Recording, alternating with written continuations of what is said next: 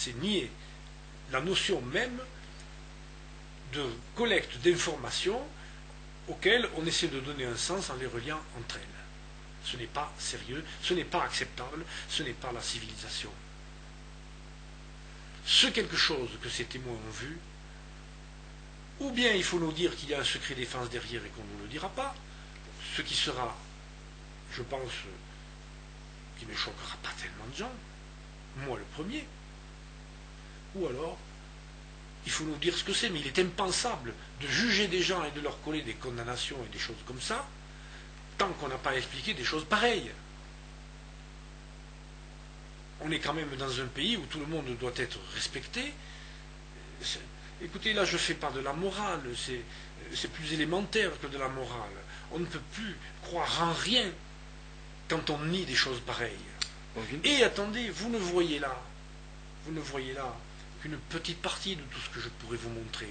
Quand j'entends tous les jours que je suis dénigré au procès sans pouvoir répondre, et que je suis dénigré à travers un dénigrement un peu plus général, à prétention pseudo-philosophique de bazar euh, sur la valeur des témoignages, vous comprenez bien que ça nous met au cœur cette idée que finalement rien n'a de sens, qu'il n'y a rien à espérer nulle part, qu'il ne faut plus jamais aller voter, qu'on s'en fout, que de toute façon on n'a rien, à, euh, on, rien à, espérer des gens qui ont vraiment le pouvoir. Ça, ça vous met le pessimisme définitif au cœur. Ce n'est pas possible. Il y a plein d'honnêtes gens qui veulent la vérité.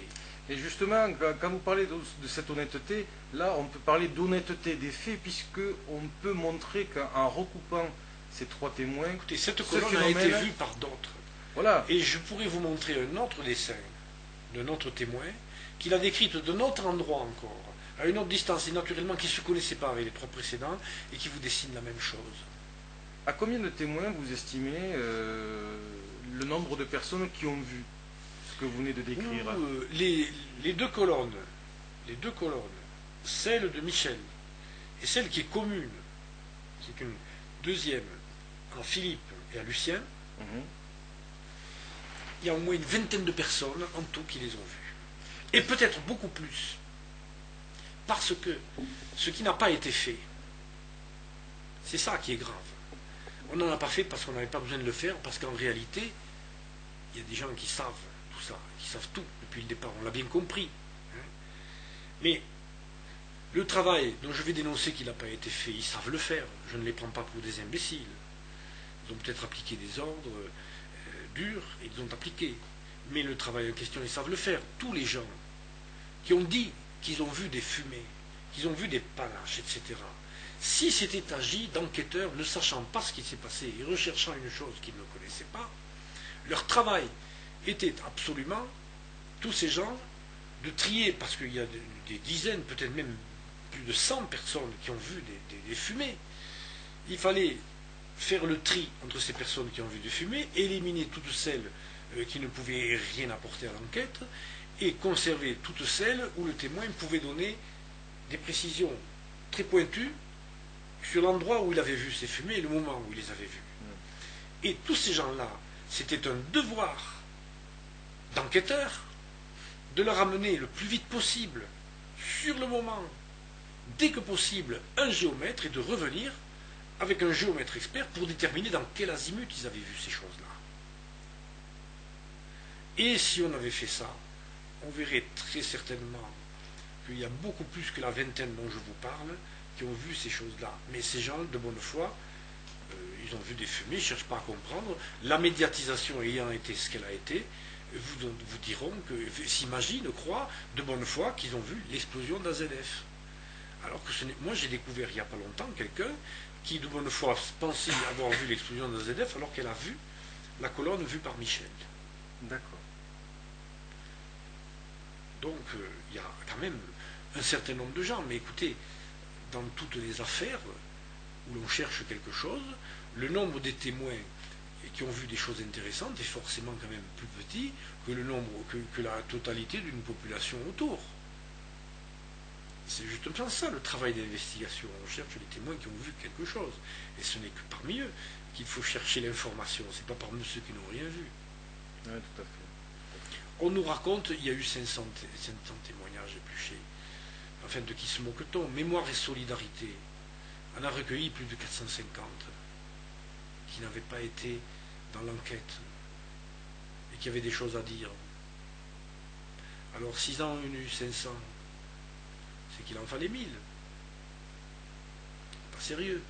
D'autre part, dans les 500 où je suis allé les regarder, ils comptent tous les interrogatoires. Il y a plein de gens qui ne sont pas là, qui sont loin, qui n'ont rien entendu, qui étaient dans leur jardin parce qu'ils étaient en congé. Ça fait une pièce du dossier. Comme les montrent ces 500 témoignages. Moi, je n'en ai pas vu 500. Hein. Je n'en ai pas vu 500 de l'enquête officielle parlant des deux explosions. Pas du tout. Mais nous, ce que nous avons constaté, c'est une statistique qui est discordante avec ce que dit l'enquête officielle. Mémoire et solidarité, je vous le disais, recueillissent environ 450 témoignages qui sont plus ou moins intéressants. Eh dans le temps, il y en avait quelques-uns de bien intéressants quand même. Hein. Eh bien, euh, le nombre sur ces personnes-là, on a quelque chose de vrai. Ce sont des gens qui se déclarent eux-mêmes et qui viennent nous aider en disant ce qu'ils ont vu. On avait mis une annonce dans le journal. Eh bien, on a fait une statistique, 70% ont entendu deux explosions. 70%. C'est du monde quand même. Hein. Évidemment, ce n'est pas 70% de la population, mais c'est 70% des gens qui déclarent qu'ils ont quelque chose à dire. C'est pas du tout ce qu'ils ont dit. C'est énorme. Aussi, cette statistique devrait faire réfléchir avant de dire que la première n'a pas existé. Le bruit sismique, laissez-moi rire. Oui, on, cherche à démontrer quelque chose. Et je vous ai dit tout à l'heure que quand on cherche, on ne doit jamais chercher à démontrer quelque chose. On cherche, on recueille de l'info, et c'est de l'exploitation intelligente, raisonnée, sérieuse, scientifique, patiente et difficile de l'information qu'on a recueillie que sort la vérité. Ça n'a rien à voir avec la démarche qui consiste à vouloir prouver quelque chose et à se faire feu de tout bois pour démontrer ce qu'on veut démontrer. Donc ce qu'on peut retenir de, cet entretien aujourd'hui, euh, M. Arnondiez, c'est que finalement la vérité peut venir par rapport au travail que l'on peut faire sur les témoignages. Bien entendu. Et d'ailleurs, euh, s'il fallait renoncer à tous les témoignages, je pense tout simplement qu'il faudrait vider les prisons. Et s'il y a des erreurs judiciaires qui sont commises à partir de témoignages, ce n'est pas la plupart du temps à cause des témoins. J'écarte le cas qui existe toujours, il y a toujours des cas résiduels, des faux témoins. Cela, il faut les punir quand on les a repérés. Et à mon avis, ce n'est pas assez fait. On ne pas beaucoup de condamnations pour faux témoignages, et moi je le déplore. Mais si nous écartons les faux témoignages, les cas où euh, l'institution judiciaire aboutit à des erreurs à cause de témoignages, ce n'est pas la faute des témoins. C'est la faute, à n'en pas douter, d'un travail insuffisant et pas assez sérieux sur les témoignages. Et quand je dis sérieux, ça veut aussi dire être capable d'éliminer ceux qui n'apportent rien. Mais tout ce que je dis, tous ces gens qui font semblant de dire que les témoignages ne servent à rien, le savent aussi bien que moi. Alors, ils ne renonceront pas aux témoignages pour condamner des gens dans d'autres circonstances. Si C'est dans notre code pénal. Si on devait dire en deux mots la conclusion de ce témoignage, si vous deviez euh, dire deux mots. Je dirais la même chose que tout à l'heure. Je dirais une fois de plus, je me répète, euh, merci à tous les gens qui ont eu le courage de témoigner, euh, avec qui j'ai eu la, joie de travailler, qui m'a apporté une expérience vraiment passionnante. Et je leur dis, euh, ils ont bien travaillé, ils ont eu du courage, et euh, ils ont travaillé pour la vérité, donc ils peuvent avoir la conscience tranquille. Et je ne peux pas imaginer que tôt ou tard, la vérité n'ait pas raison de la non-vérité. Monsieur Armondiez, merci.